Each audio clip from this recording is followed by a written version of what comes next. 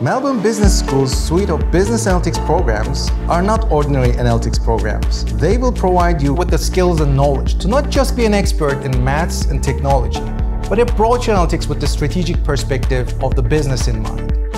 It is this component of business impact that clearly differentiates us from other degrees that are offered in stats or IT departments in many other universities around the world. At Kearney, we recruit graduates from the Master of Business Analytics to help us build such capabilities for our clients. The upside of data analytics is that businesses can see the benefits. It leads to change and improvement and the ultimate goal of increased business growth. Whether it's predictive analytics, insight analytics, or optimization, the analysis of data to solve problems and help businesses make better, more informed decisions across varying domains is delivering competitive advantage for those investing in analytic capability.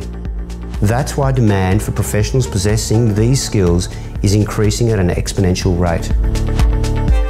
In contrast with this massive demand for business analytics graduates in the marketplace, the supply of graduates to satisfy that demand is unfortunately highly limited. Employers are looking for graduates who are trilinguists, who can speak the languages of maths, technology, and business. It is this demand from employers, as articulated by our Industry Advisory Board, that led Melbourne Business School to design this flexible and practical suite of business analytics programs.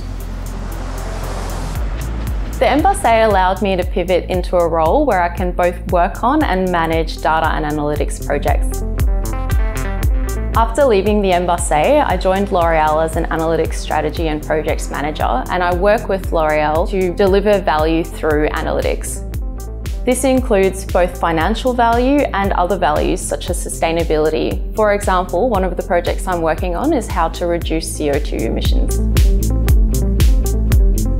Lecturers were fantastic. Um, so really for me, I think the main highlight there was the expertise of lecturers. So some of them were clearly you know, the top experts in their areas, whether it was negotiation, supply chain optimization, um, and those kind of other areas that we covered in the course. They were also incredibly approachable. So they were able to kind of really give you a lot of time to be able to say, hey, here's the stuff you need to scaffold your knowledge and to build you towards a higher level of expertise through the program. The cohort was a hard-working group from a mix of academic backgrounds such as business, actuarial, computer science, engineering, as well as different levels of work experience. This made group projects a more rewarding experience because it was about how to make the most of everyone's unique perspective and skill set to deliver a much better outcome than you could deliver yourself. I chose the Masters of Business Analytics at Melbourne Business School because I want to work as a data translator, someone who works at the intersection of business problem solving, technical expertise, and also the mathematical rigour to translate those problems into technical solutions. And for me, Melbourne Business School was the place to learn that and grow those skills in the Melbourne context.